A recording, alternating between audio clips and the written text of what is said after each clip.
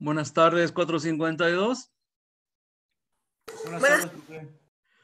Bueno, hoy tenemos la última sesión de la semana. Mañana no nos vamos a ver. Estuve checando y lo último que estuvimos viendo fueron problemas con cargas. Y hoy vamos a ver dos videos. Uno que les prometí que era sobre el conflicto de Edison y Tesla.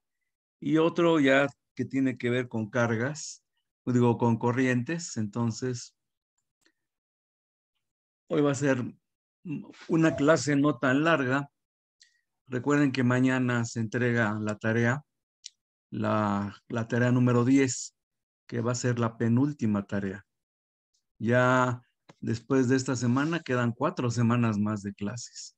Ya se fue el tiempo.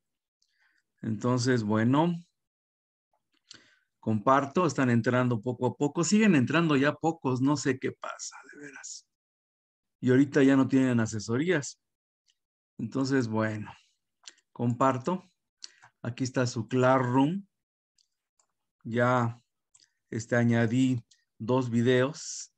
Y hoy vamos a ver entonces la guerra de las corrientes entre Nicolás Tesla y Tomás Alba Edison. Es más ampliado esto está más explicado. Y luego vamos a ver la ley de Ohm y empezar a ver circuitos eléctricos. Bueno, entonces, comparto primero. A ver, no, no compartí audio, entonces tengo que hacerlo, si no, no van a escuchar. Y ahora sí. Muy bien.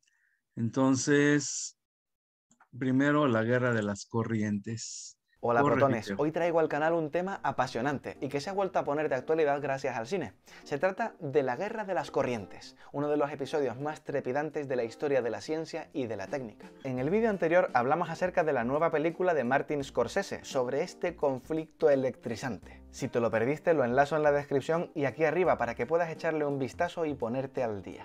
Ahora, para dar contexto a esa reseña, vamos a hablar de qué fue la Guerra de las Corrientes, cuándo sucedió, cómo sucedió, qué personajes estuvieron involucrados en ellas, cuáles fueron los desarrollos tecnológicos que llevaron a ese conflicto técnico y además cómo fue el desarrollo posterior de toda esa implementación de tecnología que han marcado nuestra vida actual, digamos, el gran desarrollo y revolución de la industria moderna.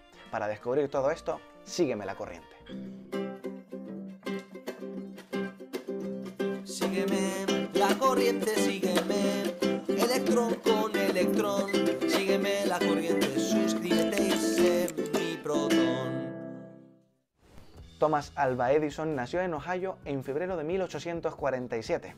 En su juventud fue expulsado de la escuela por considerarse un alumno altamente improductivo y a sus 12 años ya trabajaba vendiendo periódicos. Aunque muy pronto comenzaría a hacer sus primeros experimentos mecánicos y eléctricos a raíz de su fuerte interés por la física y por la química. Llegó incluso a montar un laboratorio bastante cutre en el vagón de tren en el que también se encargaba de imprimir el periódico semanal, The Grand Trunk Herald. Con estos cimientos comienza la vida de uno de los empresarios e inventores más prolíficos de toda la historia de Estados Unidos. Más adelante, tras trabajar como telegrafista, se muda a Nueva York en 1869 y comienza a trabajar como inventor en Newark, en su propio laboratorio. Pero fue en 1877 cuando comienza a fraguarse la leyenda. En ese año se muda a Menlo Park, en Nueva Jersey, y comienza su retaíla de inventos más significativos. El fonógrafo, un dispositivo capaz de grabar y reproducir voces, sale a la luz en 1877 y en 1879 la bombilla, la lámpara incandescente. Fue precisamente el desarrollo de un filamento, el hilo que va dentro, que no se quemaba, sino que permanecía incandescente, el que le llevó a recibir el apodo de El Mago de Menlo Park. No en vano, en un show ante más de 3.000 personas, logró mantener encendida su bombilla durante 48 horas seguidas. Fue entonces cuando Edison funda su compañía más conocida, la Edison Electric, con intención de realizar todo el desarrollo tecnológico e implementación de su tecnología de corriente continua. A esta iniciativa se le uniría mediante una fusión el magnate JP Morgan. Con este empresario y banquero crearía incluso la primera central de generación eléctrica, en corriente continua por supuesto, que alimentaría a un distrito de Manhattan, en Nueva York, en 1882. Toda esta historia de la Guerra de las Corrientes comienza en la Exposición Internacional de Electricidad de París en 1881. Allí Thomas Alva Edison presentó varios de sus inventos, y entre ellos se encontraba la bombilla incandescente. Sin duda, a partir de ese momento comenzó a verse la electricidad como el candidato ideal para la sustitución del gas en la iluminación y calefacción de los hogares. Fue entonces cuando otro de los grandes empresarios estadounidenses, George Westinghouse, se interesó por el mercado incipiente que abría el mercado eléctrico. En él veía que se abrían muchas oportunidades, y particularmente en su situación, que prácticamente tenía el dominio de toda la distribución de gas y de frenos hidráulicos y de todos los cacharros que se verían sustituidos por la electricidad, pues como que resultaba interesante meterse en ese mercado. Fundó la Westinghouse Electric para competir con Edison, aunque no apostaría por la tecnología de corriente continua, no la veía suficientemente eficiente. De hecho, intentó incluso acercarse a Edison para operar en conjunto y transportar energía con corriente alterna empleando la tecnología de bombillas de Edison, pero parece que no se mostraba muy receptivo. Se enfrascarían así en la gran batalla y la gran carrera por dominar el mercado eléctrico. Westinghouse, con la corriente alterna, logró iluminar Massachusetts y fue consiguiendo dominio sobre distintas ciudades, mientras Edison hacía lo propio en otras regiones. Cada uno difundiendo las bondades de su tecnología lograba expandir su dominio en aquel tiempo en el que aún era bastante incierto saber quién y qué tecnología acabaría dominando la situación. Sin embargo, Westinghouse aún no había podido ofrecer con la corriente alterna todo lo que la corriente continua de Edison ofrecía. Sí, podía iluminar bombillas, igual que la corriente continua de Edison, pero todavía con corriente alterna no había logrado accionar motores, por tanto, no lograba producir trabajo útil, no lograba sustituir aquellas máquinas de vapor o a la fuerza bruta de las personas. Pope, que era el mejor aliado de Westinghouse en estos aspectos técnicos, estaba precisamente inmerso en el desarrollo de un motor capaz de ser accionado por corriente alterna, aunque justamente en esos trabajos falleció en un accidente eléctrico. Y este hecho, por supuesto, no lo dejaría escapar Edison. Lo utilizaría para esgrimir que la corriente alterna era una corriente peligrosa, que mataba a personas, a diferencia de su corriente continua. Edison llega incluso a colaborar en el desarrollo de la silla eléctrica con corriente alterna, para realizar ejecuciones presumiblemente limpias, tratando de involucrar al máximo posible en esto el nombre de Westinghouse, como creador de la electricidad perfecta para matar. Todo parecía venirse abajo para Westinghouse, que incluso llegó a plantearse vender su compañía y sus tecnologías en materia de energía eléctrica a JP Morgan y a Edison, dándoles sus logros en este campo. Es entonces cuando cobra particular importancia la figura de un ingeniero que incluso había trabajado previamente para Edison durante un tiempo y que posteriormente por diferencias técnicas y personales acabó en la calle y acabó también trabajando como obrero. Era el caso de Nikola Tesla, este hombre de aquí. Tesla nació en 1856 en Smiljan, en el antiguo imperio austrohúngaro actual Croacia. Comenzó en 1875 sus estudios de ingeniería eléctrica y física en la Universidad de Graz. Allí fue donde su profesor de física le mostró por primera vez un motor eléctrico de corriente continua. Ahí fue cuando Tesla comenzó a dar rienda suelta a su imaginación e idear motores eléctricos con los que mejorar aquella aparente ineficiencia del motor eléctrico de corriente continua que le habían mostrado. Y es que tampoco hay que culparle, lo que le sacaron en la Universidad de Graz era un motor chungo con escobillas chispeantes que sí, se movía, ok, pero ¿de qué manera? Que tampoco tenemos que olvidarnos de que era el comienzo de toda esta tecnología. Después de unos años de estudio y trabajo intensísimos, hasta tal punto de que sus profesores llegaron a mandar cartas a sus padres diciendo que, que su estabilidad mental corría peligro si seguía con ese ritmo. Pues después de todo eso, en el segundo semestre de su tercer año de estudios, eh, llegó a abandonar la universidad y se mudó de Graz. Era el año 1878 y llegó una época en la que se perdió un poquillo, entre pequeños trabajos y una fuerte adicción a las apuestas y al juego. Esto fue así hasta el fallecimiento de su padre, hecho que le hace centrarse y poner orden en su vida. Fue entonces cuando llegó a Praga, de nuevo a la universidad, y comienza a trabajar también en la oficina de telégrafos. En el año 1882 se muda a París para trabajar en la Continental Edison Company. Sí, señores, llegamos ya al momento en el que la historia de Nikola Tesla comienza a cruzarse con la de aquel Thomas Alva Edison con el que comenzamos este vídeo. Allí se encargaría de mejorar e implementar los equipos eléctricos que llegaban de Edison desde Estados Unidos.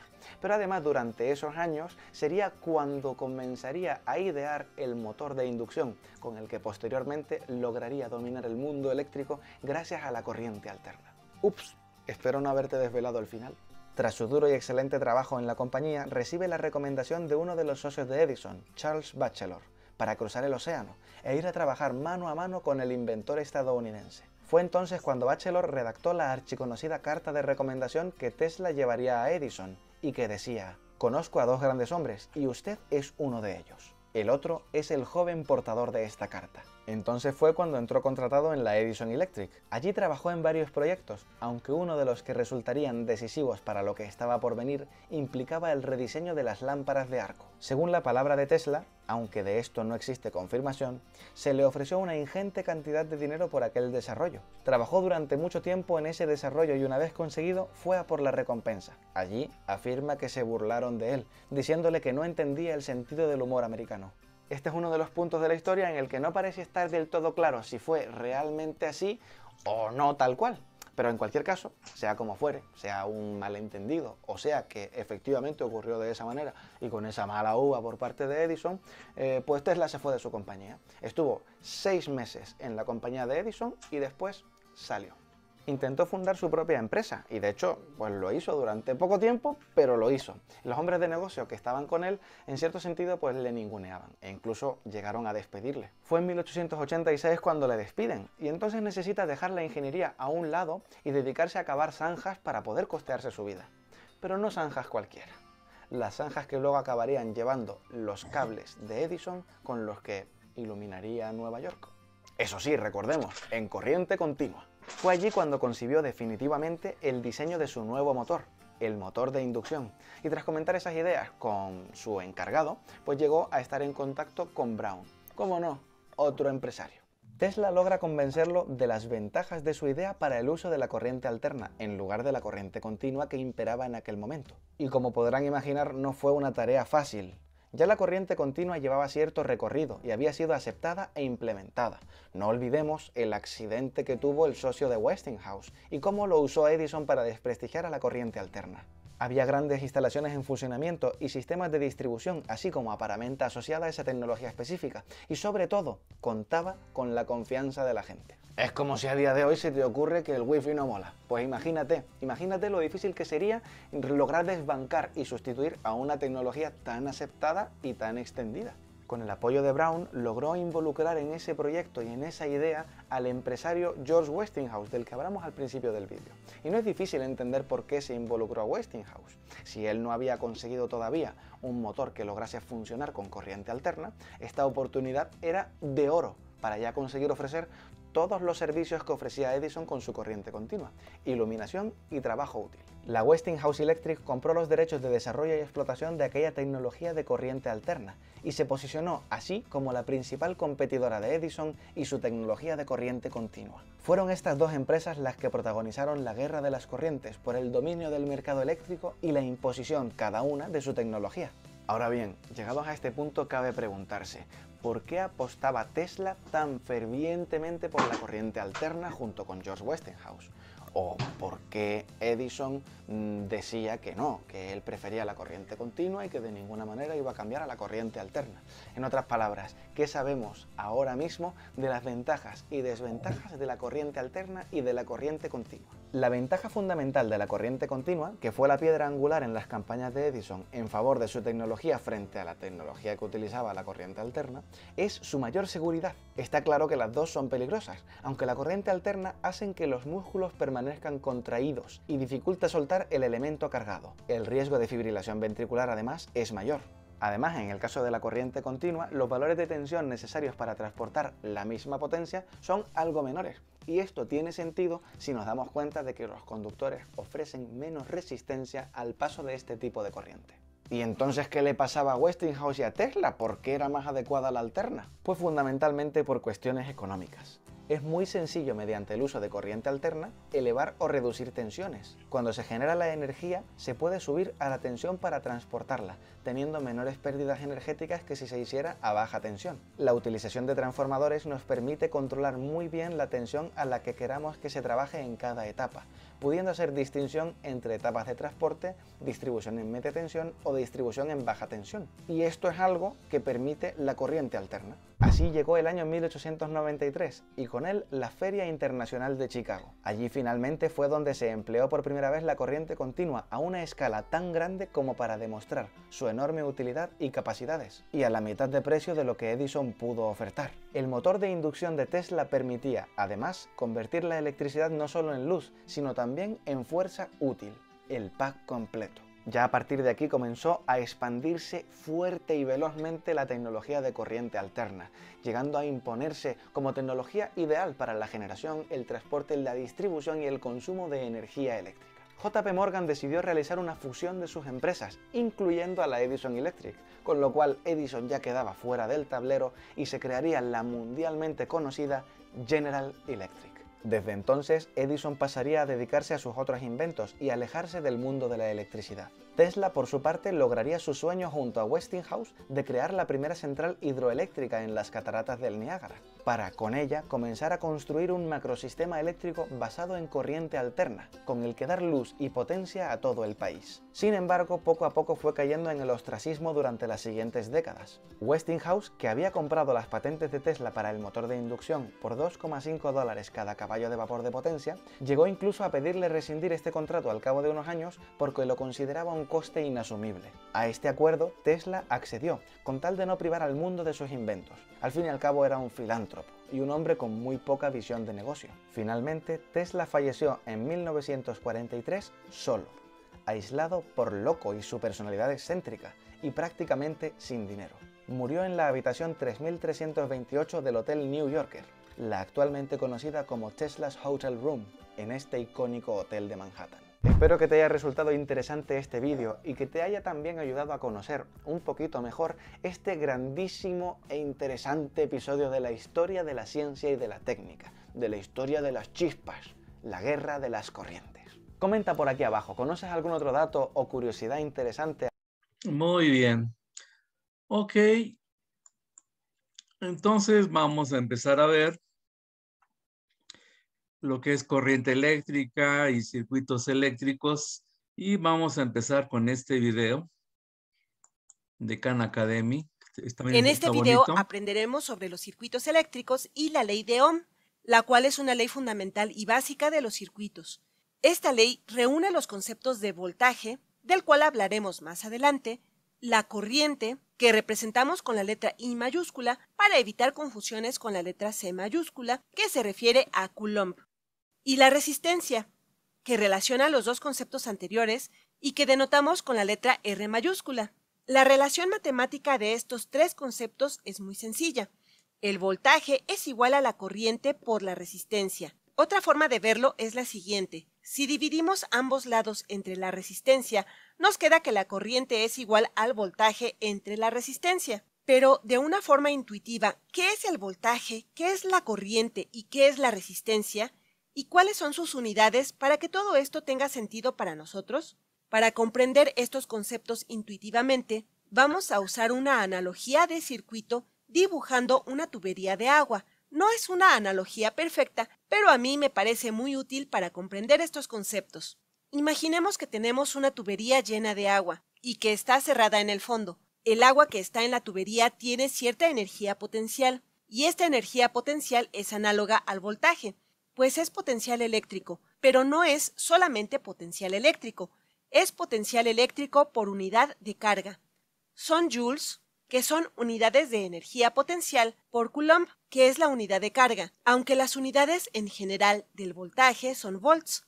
Ahora imaginemos qué pasa si destapamos esta tubería, pues el agua va a caer inmediatamente. La energía potencial se convierte de manera inmediata en energía cinética, podemos fijarnos en una parte en particular de la tubería y preguntarnos cuánta agua pasa o fluye por aquí por unidad de tiempo. La cantidad de agua que pasa por este punto en la tubería durante cierta cantidad de tiempo es análoga a la corriente eléctrica. La corriente es la cantidad de carga por unidad de tiempo. Q representa la carga y T el tiempo. Intuitivamente podríamos decir que es qué tanta carga pasa por un punto de un circuito en un segundo. También podemos verlo como coulombs por segundo. La resistencia podemos imaginarla como algo que impide que la carga fluya a una tasa arbitrariamente alta. Regresando a la metáfora de las tuberías de agua, agregamos algo que impida que el agua fluya, por ejemplo, una sección estrecha en la tubería.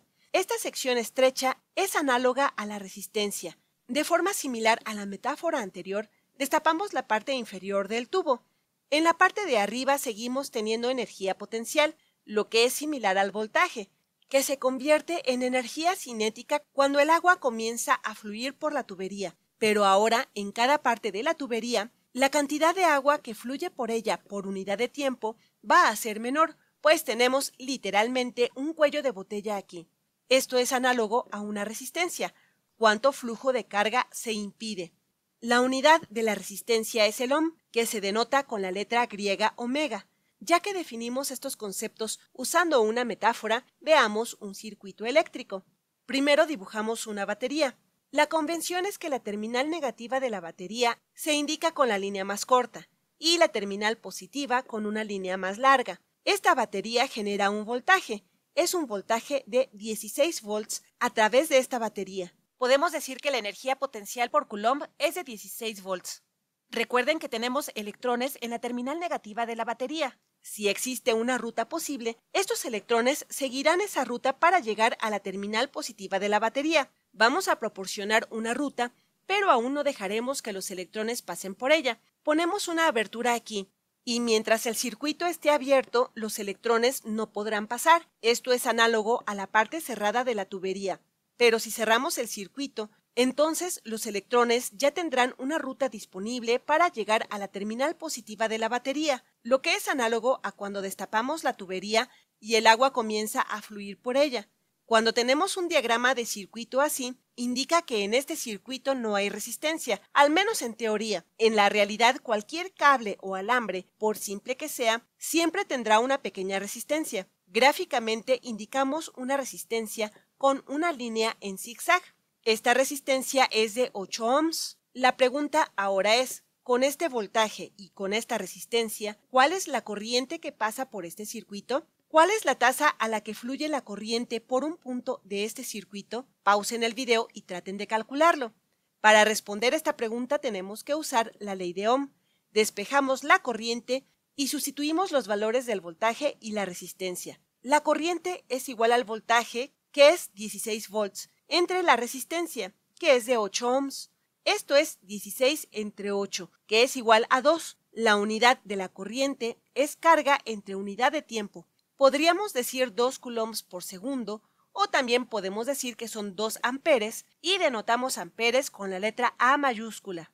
Hablamos de que los electrones fluyen por el circuito y tendremos el equivalente a 2 coulombs de electrones fluyendo por el circuito cada segundo. Esto se cumple para todos los puntos en el circuito, de la misma forma que se cumple en la metáfora de la tubería de agua. Aun cuando es más ancha en esta parte y más angosta en esta otra, debido a este cuello de botella, la cantidad de agua que fluye por esta parte del tubo por segundo es la misma cantidad de agua que fluye por esta parte angosta cada segundo. Es por eso que, para este circuito sencillo, la corriente que medimos en este punto, en este punto y en este otro punto será la misma. Pero hay un detalle aquí. Pausen el video y piensen en la dirección en la que fluye la corriente. Si saben cómo se comportan los electrones, se pueden imaginar que los electrones viajan en esta dirección, así que podríamos decir que la corriente tiene esta dirección. Pero resulta que la convención que usamos tiene la dirección opuesta. Esto tiene una razón histórica. Cuando Benjamin Franklin estudiaba circuitos por primera vez, no sabía nada sobre los electrones, que se descubrieron aproximadamente 150 años después. Lo único que él sabía era que lo que él etiquetaba como carga fluía entre estas terminales y, como eran opuestas, las etiquetó arbitrariamente como positiva y negativa, en sus estudios sobre la corriente, él vio que la corriente fluía de la terminal positiva a la terminal negativa y seguimos usando esa convención en la actualidad, aunque es la dirección opuesta a la del flujo real de los electrones. aunque más adelante veremos que la corriente no siempre involucra a los electrones. Así pues, esta corriente es de 2 amperes. Nos vemos en otro video. Muy bien. En este video aprenderemos... Vamos aquí a detener. Ok, jóvenes, entonces, estos son los videos que tienen que resumir. Están muy sencillos. Ya lo de este Nicolás Tesla y, Alba Edison ya habíamos visto algo. Esto está un poquito más extenso. Y ya empezamos a ver con este video de ley de omnicircuitos los conceptos que vamos a empezar a manejar. Corriente, voltaje y resistencia. Y vamos a empezar a hacer problemas con de Ohm. Ya aquí en este video ya se hizo uno muy sencillo. Evidentemente vamos a ver este problemas un poquito más complicados. Pero bueno, eso va a ser todo por esta semana. Recuerden que mañana se entrega la tarea número 10, que sería la penúltima tarea del año, y en dos semanas más sería la última. Ya nos estamos aproximando al final del curso, nos quedan cuatro semanas de clases, o sea, serían dos semanas de clases, luego sería la siguiente semana para hacer exámenes y para evaluar la última semana. Entonces ya estamos llegando casi, casi al final de todo, de todo el curso. Eh, ¿Alguna pregunta, alguna duda, jovencitos? ¿Algo que quieran decir? Ok, mañana no nos vemos, pero mañana espero su tarea. Recuerden, no se esperen hasta el final a medianoche, por favor. Entonces, pues ya, si no hay preguntas, doy por terminada la sesión de hoy y nos veríamos el próximo miércoles, ¿verdad? Ok, jovencitos. Hasta luego. Gracias, Hasta Hasta luego. Hasta luego.